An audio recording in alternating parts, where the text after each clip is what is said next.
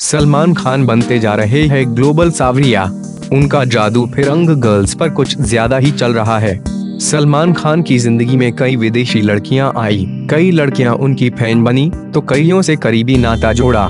Salman fans विदेशों में भी बसती हैं। पिछले दिनों जब सलमान ऑस्ट्रेलिया, न्यूजीलैंड और हांगकांग के टूर पर गए थे, वहाँ भी विदेशी लड़कियों फ़िलहाल सलमान के साथ साय की तरह नज़र आती है। रोमानिया की मॉडल और एंकर यूलिया बंतूर। सलमान की मम्मी और परिवार वालों को विदेशी बहू से नहीं है कोई ऐतराज। कुछ दिन पहले सलमान की मम्मी जिस तरह यूलिया के साथ आई नज़र, उससे साफ़ हो गया है कि ये विदेशी हसीना ही बन सकती है। खान खानदान की सबसे बड़ी बहू यूलिया वंतूर रोमानिया की मशहूर टेलीविज़न एक ट्रेस और होस्ट है। सलमान से यूलिया की मुलाकात डबलिन में हुई थी। सलमान वहाँ फ़िल्म बॉडी गॉड की शूटिंग के लिए गए थे। सलमान और यूलिया एक बार मिले तो फिर बहुत अच्छे दोस्त बन गए। उसके बाद तो यूलिया का इंडिया आना जाना शुरू हो गया और फिर प्यार परवान चढ़ने लगा।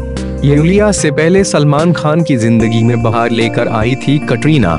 बात 2004 की है, तब सलमान को ऐश्वर्या राय से प्यार में मिले जख्म के लिए मरहम की ज़रूरत थी। इसी समय उनका सामना हुआ लंदन से आई कटरीना से। विदेशी बाला कटरीना बॉलीवुड में अपने पाँव जमाने के लिए ढूंढ रही थी सहारा। ऐसे में सलमान ने कटरीना के सिर पर अपना हाथ रखा और दोनों ने फ़िल्म मैंने प्यार क्यों किया में साथ काम किया। जैसे ही सलमान से हुई उनकी दोस्ती, कटरीना को जान गया पूरा इंडस्ट्री। सलमान खान के साथ सात सात सालों तक रिलेशनशिप में रही कटरीना और हर किसी को था इनकी शादी का इंतज़ार। सलमान और कटरीना थे बॉलीवुड के आइडल का पल लंदन की कटरीना कैफ में से सलमान खान बनने ही वाली थी कि उनकी लाइफ में आ गए रणबीर कपूर। भले ही कटरीना अब सलमान के साथ नहीं है, लेकिन यूके की कटरीना को बॉलीवुड में स्टैब्लिश तो सलमान ने ही किया, और यही वजह है कि कटरीना के लिए सलमान अब भी हैं बहुत खास। कटरीना सलमान की जीवन साथी तो नहीं बन सकी, लेकिन इस विदेशी कुड़ी के अब भी गॉडफादर बने हुए हैं सलमान। बॉलीवुड का सुल्तान आजकल गोरी नेम पर कुछ ज़्यादा ही है मेहरबान।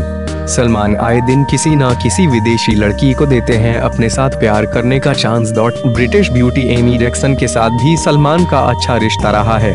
पिछले दिनों खबर आई थी कि सलमान ब्रिटेन की रहने वाली एमी जैक्सन के साथ सिल्वर स्क्रीन शेयर करने की प्लानिंग कर रहे हैं। एमी जैक्सन को चुलबुल पांड के साथ दबंग टीम में देखा जा सकता है। दरअसल दबंग तीन में इस बार सोनाक्षी सिन्हा के साथ एक और हीरोइन को कास्ट किया जाएगा। सलमान के विदेशी प्रेम को समझना हो तो स्वीडिश ब्यूटी एली एवराम भी इसका अच्छा नमूना है। बिग बॉस से अपनी पहचान बनाने वाली स्वीडिश गर्ल एली एवराम पर तो सलमान कई साल से हैं कुर्बान। कहा तो ये भी जा रहा है कि सलमान खान इस फिरंग हसीना के साथ भी ऑन स्क्रीन रोमांस करने का बना रहे हैं प्लान अब श्रीलंकन ब्यूटी जैकलीन के साथ सलमान की कैसी बॉन्डिंग है? ये शायद आपको बताने की ज़रूरत नहीं है।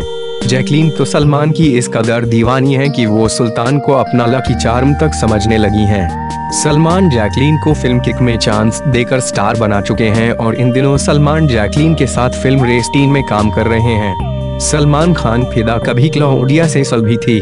वो सलमान ही थे जिनकी बदौलत जर्मनी की क्लाउडिया को मिला था बिग बॉस में एंट्री का चांस।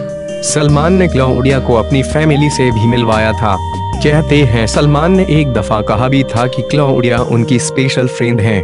क्लाउडिया का दिल सलमान का कुछ ऐसे फिसला था कि वो तो उनसे शादी को हो गई थी तैयार। सलमान पर फिदा होने वाली विदेशी कुड़ियों में लंदन की हेजल की का भी आता है नाम। हेजल ने फ़िल्म बॉडी में किया था सलमान के साथ काम। फ़िल्म की शूटिंग के वक्त सलमान और फिरंग हेजल की बढ़ गई थी नजदीकियाँ। सलमान की बदौलत हेजल को एक आइटम डांस का भी मिला था मौका। सलमान खान की दोस्ती तो पामेला इंडसन से भी खूब हुई।